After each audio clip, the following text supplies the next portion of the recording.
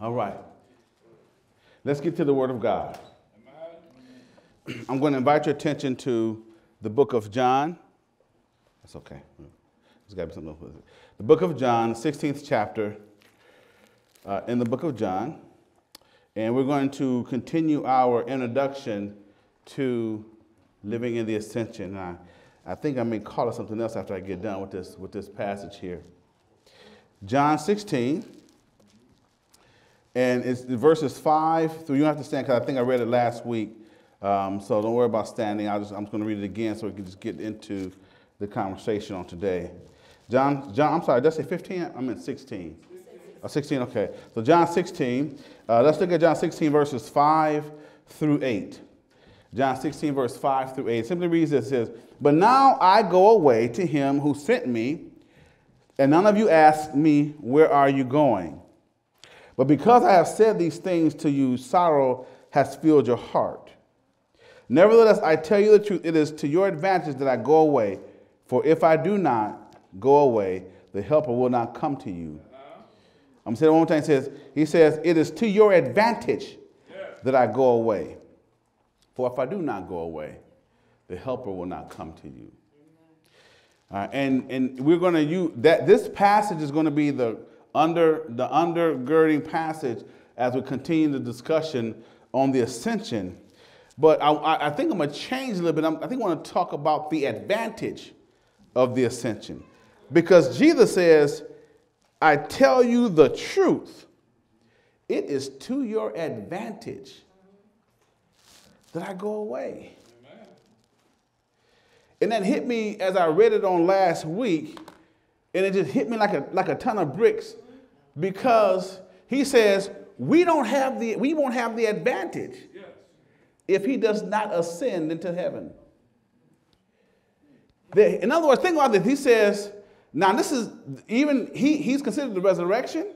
He, he's, he considered the crucifixion. He's considered all these things. He says, but it's not to your or my advantage if he does not ascend.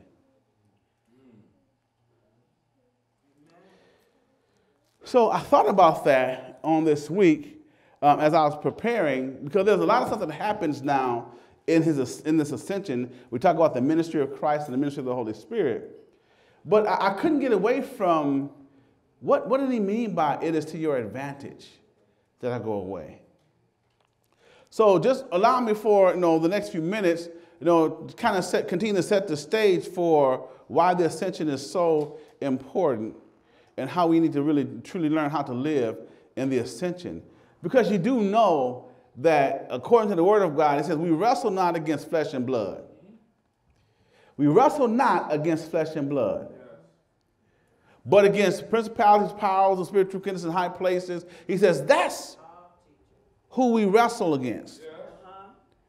And Jesus knew this. And Jesus knew that in order for us to get the advantage again, he had to go away because he had to send someone that's going to help us be able to handle the struggles of life. Now, uh, just in case you think I'm making this up, I know that in the book of Romans, the eighth chapter, listen what it says here. It says, um, in verse 35, it says, Who shall separate us from the love of Christ? Shall tribulation or distress or persecution or famine or nakedness or peril or sword? But he says, Who? But then he, he goes to start listing out the stuff. So it says, Who shall separate us? Shall tribulation? Shall distress? Well, tribulation and distress is not a person, it's a situation. But the who that he's talking about is who is the who that brings the tribulation and the distress and the persecution and the famine and the nakedness and the peril and the sword and the problems and the heartaches. It's the who. Because if he, if, he, if, he, if he really meant something, look, in verse 31, he says, What then shall we say? He who did not spare his own son, but delivered him up for us, you know, um, yeah, but deliver, deliver us up for us all. How shall he not with him, you know, also freely give us all things? Who shall bring the charge against God's things? Who is, who is he who condemns? Who shall separate? He's saying, Who is this? So there's a person behind the situation. See, we're made to believe in our life that all the stuff that we go through is just a physical thing. But what we need to understand, everything that we deal with has its beginnings and its roots in the spiritual realm. And it is controlled in the spiritual realm. But we're made to believe. As a matter of fact, we, we, we get so smart, Deacon Hawk, that we, we, don't, we don't think that God knows how he created things. And so we then try our own way where God has given us instruction in his word to do it his way. And so when you start understanding about the ascension, he says, if I don't go away, you are not going to get the advantage in your life. I don't care, he said, I don't care if, if, if, it comes down to an issue in your life that is physical. You're not going to get the advantage if you don't understand I, I can control things through the, through the one whom I send because it's going to be to your advantage if you listen to him because I rule over all things. As a matter of fact, he says that he now sits in the heavenly realm as he sits over all things and all things must still report to him, even Satan himself. So he says it's to your advantage. so that means that it would have been to your disadvantage had he not gone away. So the ascension had to happen. But let's look at it biblically, though. When you look at Genesis 1 26 through 28, you see where it says, you know, God said, Let us create man in, in our image and our likeness. You know, it says in, in, in, in his image and his likeness, he created man and man, male, both male and female. Then he says, now go rule, be fruitful, multiply. Because that's why I created you. I created you to rule and have dominion. I created you to be the representation on this earth for me. While I rule in heaven, I want you to rule on earth. I created you to reflect my presence in the earth. I created you to represent, to reflect. But in order to do so, you have to have a relationship with me. And through that relationship with me, you will be able to reflect my glory based off of our relationship. And then you will be able to represent me because of your reflection in the world. Because now, as we as before before sin here, when Adam sat here, Adam was God's reflection in the world. Uh-huh. That's Genesis 1, 26 through 28. But here's where we went wrong. Minister Monique. Genesis 5, I mean, I'm sorry, Genesis 3, verses, um, I'm sorry, Genesis 5, uh, verse 1 through 3, says that, yep, God, you know, in the beginning, God created man in his own image and likeness. And then it says, and then Adam created Seth in his own image and likeness. Now, Adam created Seth in his own image and likeness because he was no longer in the image and likeness of God because he had fell out of glory with God. So in Genesis 3, it shows how he fell out of glory and all the curses came upon us. And so because all the curses came upon us, with those, with that curse came a whole lot of, a whole lot of other stuff that came with us. It came physical issues, physical traits. I always, you know, I, I shouldn't, I shouldn't chuckle, but I chuckle sometimes, you know, um, because the re- women, the reason why you have what you have, you know, when you have your period, when you have all this pain and you have menopause and all, it's because of the curse that was brought upon you. Because you do know that you are not meant to labor and you are not meant to have children in labor. You do know that, right? Because in the curse, he says, because you've done this, you are not going to have labor and pain. You're going to not have pain when you have your children. Men, you were meant to work, but work was not, to, was not supposed to be laborious. It was not supposed to be hard. It was not supposed to be sweaty. It was not supposed to be you working, what do they say, working like a dog. Work was supposed to be enjoyable because you were working alongside and with God Himself. So, in the curse, in the curse, everything failed. In the curse, everything failed. In the curse, we lost our represent. God lost His representation. In the curse, God lost His reflection on the earth. In the curse, we lost our relationship with Him. In the curse. But in the curse, what happened is we also handed off our authority to the enemy in the curse. In the curse, we handed off, or Adam handed off, the authority that we had in the earth to the enemy in the curse. I'm trying to get you to understand why he's talking about it's to your advantage that it goes away because you have to realize that the resurrection just wasn't going to get it. As great as the resurrection is, resurrection wasn't going to get it, wasn't going to just cut it. He said, I, I have to go back because when I go back, I can now send the one who's going to regulate everything on the earth while I regulate things once again from the heavenly realms.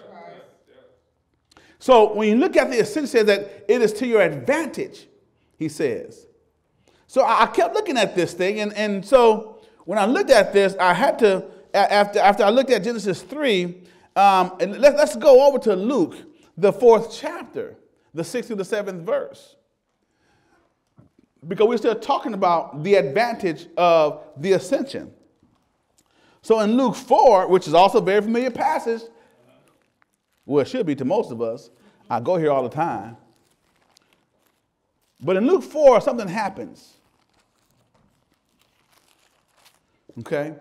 In Luke 4, starting with verse 1, says, Jesus, being filled with the Holy Spirit, returned from the Jordan was led by the Spirit into the wilderness. Okay? But if you jump down to verse 6 and 7, he says, well, let's start with verse 5. Then the devil, taking him up on a high mountain, showed him all the kingdoms of the world in a moment of time. And the devil said to him, All this authority I will give you, and their glory, for this has been delivered to me, and I give it to whomever I wish. Therefore, if you will worship before me, all will be yours. This is the first time that the devil told the truth. He said that I will give you this authority that was given to me, but all you have to do is worship me. Authority was handed over to Satan in the garden. And when that authority was handed to Satan in the garden, Satan began to run things.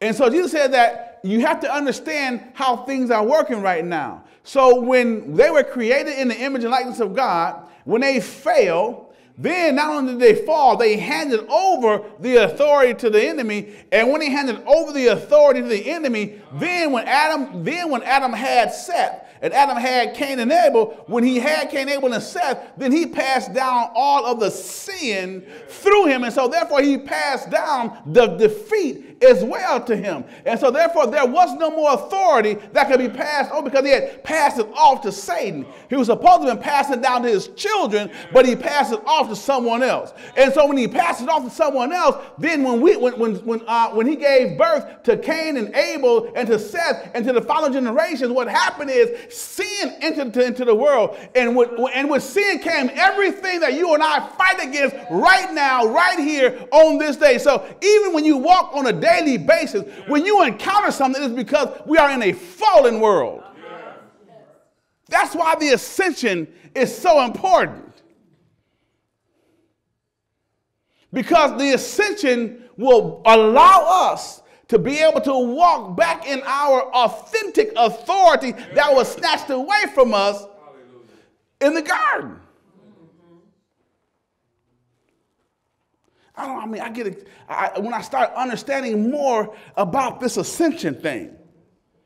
Because when God, when He says it is to your advantage that I go away, He says because when I go away, I'm going to sit in heavenly places at the right hand of my Father. Uh-huh. And as I sit at the right hand of my Father, I can now distribute that authority back to you through the Holy Spirit Himself. And then you can then regain control of your life.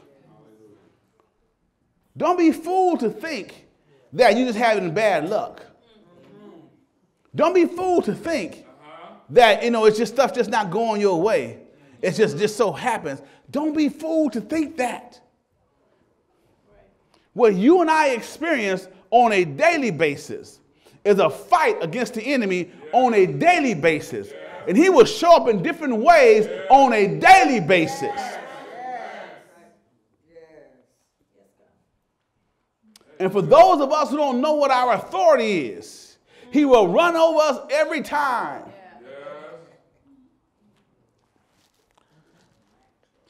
Because we don't know how to speak the authority that we've been handed because of the ascension. See, the authority wasn't there just yet, Deacon Hall, yeah. even after the resurrection. It wasn't there yet. It wasn't there yet. Because he was still walking the earth. See, the authority wasn't there yet. Sin was broken. Sin was broken. So it was, it was almost done.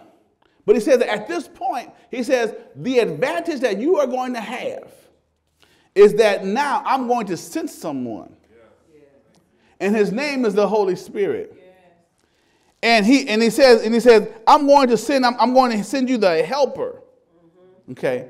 And, and I love that term, the helper, because that term, the helper, is also from a, from a term that, that simply means, you know, one who is going to come alongside and lift and help you. Parakletos.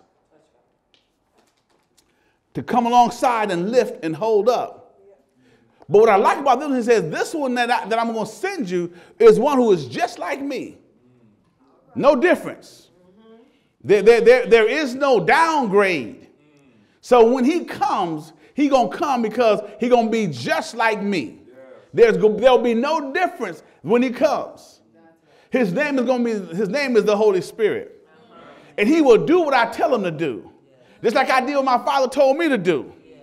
And, he, and my he says that he will speak what I tell him to speak. He will say what I tell him to say. He will go all over the place. When I was only, when he said, when I was only restrained or constrained in one place, I couldn't get everywhere, but now I'm going to send him so that he can be everywhere at one time, helping everybody at the same time, in the same way, in the same strength. He says, That's why it's to your advantage that I go. He said, That's why.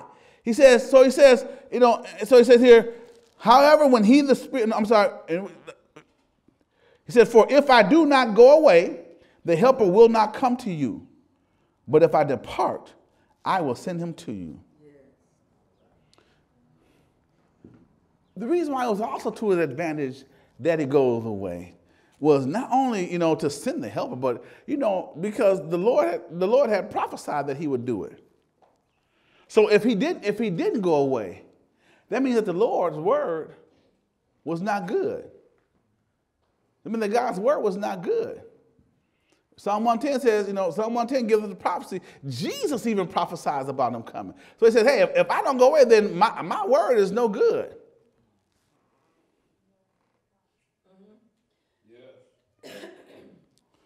So let's look at this.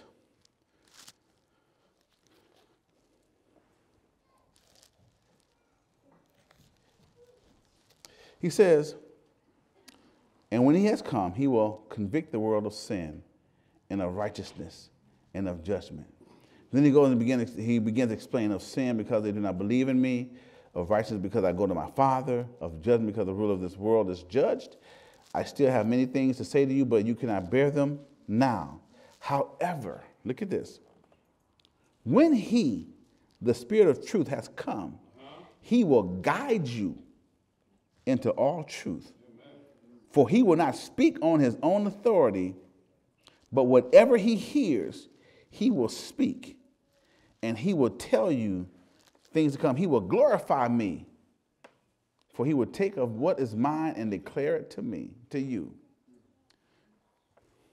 Jesus says this The reason why the ascension is so important is not about just simple doctrine. It's not about just theological doctrine. The ascension is important so we understand that at some point we've got to be able to take and realize, in other words, bring into reality the power of God in your and my life. And we've got to bring into reality the understanding that whatever we go through, God can conquer if we trust in Him to do so, if we walk in the authority that we have been given. Remember, He says, Who shall separate us from, from, uh, from, from the love of God? Who, shall separate us? Shall tribulation? Shall peril? In other words, shall the person who brings tribulation in your life, shall he separate you from the love of God? Shall the person who brings peril in your life, shall he separate you from the love of God? Who is this person that brings tribulation, that brings peril in your life, that brings problems in your life? Who is this person that brings pain in your life? Is it the person that you that's sitting next to you? No.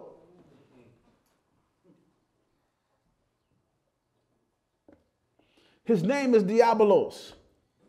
His name is Satan. His name is the great divider. But what we fail to see is we see that the person that flesh and blood is in front of us, we see them as our enemy. So we fight the wrong enemy.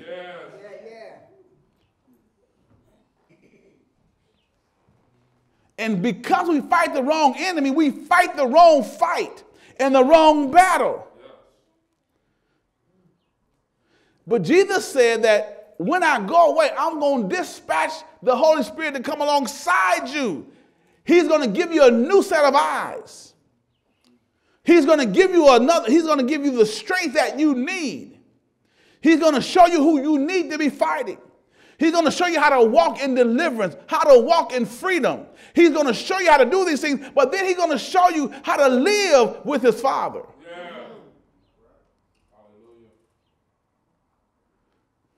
I, I, I get it. I understand. I, I know we have a whole lot of stuff going on. I know we got, you know, mental illness. I know we got all the, you know, we, we got a whole lot of stuff that's happening. And I don't want, I don't want to sound like I'm dismissing the, the, the physical illnesses that we deal with. But I guarantee you, if you understand how to live in the ascension, you'll be able to deal with most, more of those physical illnesses that you are not because you will find out it is someone who sits high and it is someone who dispatches the authority to you. It is someone that can cause you to speak into your situation. It is someone that can cause you to walk in the deliverance that you ought to walk in. It's somebody, and his name is Jesus.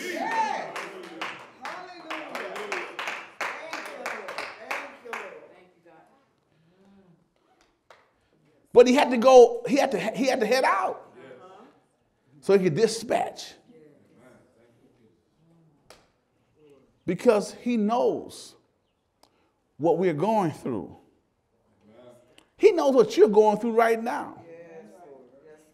And all he is saying is, I need you to come to me. I, am gonna, I want to just share this real quickly. I didn't, well, I wasn't, I wasn't going to go on this one, but I, I, need, I just need to share this with you real quickly because this is something that I always go back to in, in Matthew 11. And we're gonna get to the other stuff in but just just give me some give me some give me some time real quick.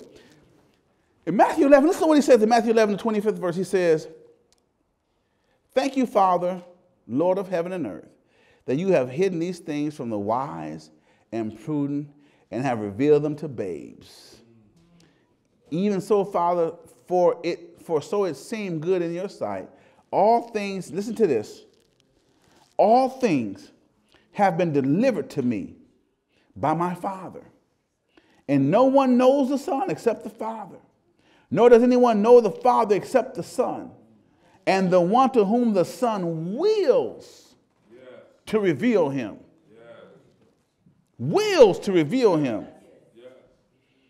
Then he says, Come to me, all you that. See, you, you see, usually we, we, just quote, Come to me, all that labor and heavy laden, I will give you rest. But eh, you, you, you got to understand the context of it. He is saying, Let me help you understand something that I'm telling you from the beginning that nobody knows the Father like I know him. And I can reveal him to those whom I will to reveal him to. And he says, those who are, are will to reveal him to is those who are surrendered to me. And if you're surrendered to me, I will reveal God to you. I will show him what you, I will show you what he can do. And then he says, then he says, come to me all you that labor and are heavy laden. I will give you rest. He says, take your, he says, take my yoke upon you, learn for you, for I, you shall find rest unto your souls. But he says, learn from me. He didn't say learn of me. A lot of times we, we quote that wrong. He says, come and learn from me. What, is I'm gonna, what, what am I going to learn from him? I'm going to learn who his father is. I'm going to learn what his father can do. I'm going to learn how he has built me. I'm going to learn how he has given me the authority that I need to have. I'm going to learn how to walk like I need to walk. I'm going to learn how to walk on my, uh, on my issues. I'm going to learn how to walk on top of all the stuff that I go through. If I come to him, he says, he says, learn from me.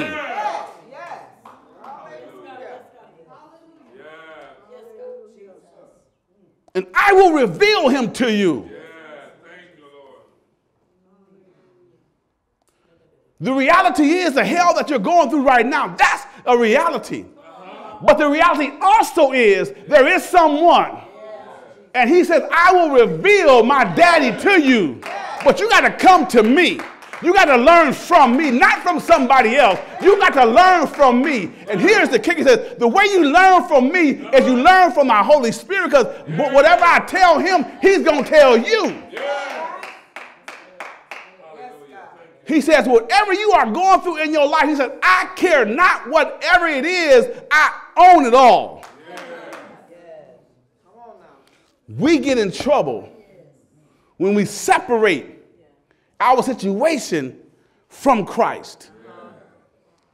We get in trouble and we get defeated when we decide not to walk in the authority that the ascension gives us. We get in trouble when we allow folk who know not God to tell us who He is we, we get in trouble when we know when, we know folk who know not God, we allow them to tell us how to live life. We get in trouble when we allow folk who know not God tell us how to raise our children. We get in trouble when we allow folk who know not God tell us how to live our life, how to better our marriages, how to walk in victory.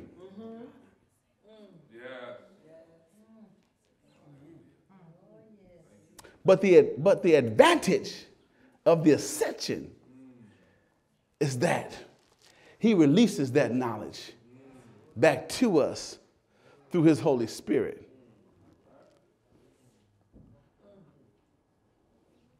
In these next series, in, the, in these next few Sundays, we're going to show you how the Holy Spirit act, is activated in the ascension. Amen. We're going to show you also how the ministry of Jesus in heaven is activated on our behalf in today's time.